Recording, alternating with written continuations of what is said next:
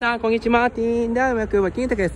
山形市、スーパーといえば元気市場、高橋、やってきました。ここ、お肉が有名です。1948年創業、高橋もいろいろリニューアルしました。ちょっと入ってみたいと言います。どういうものか、ちょっと調査します。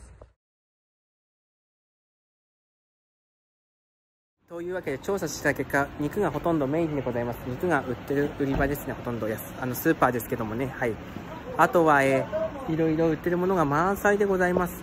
あと他にもね、ただか、卵は安いように見えるが、ただ会員限定の値段と一般の値段全然違いますね。会員にならないとダメということは明らかでした。それではコメント、高評価、チャンネル登録お願いします。以上です。バイバイ。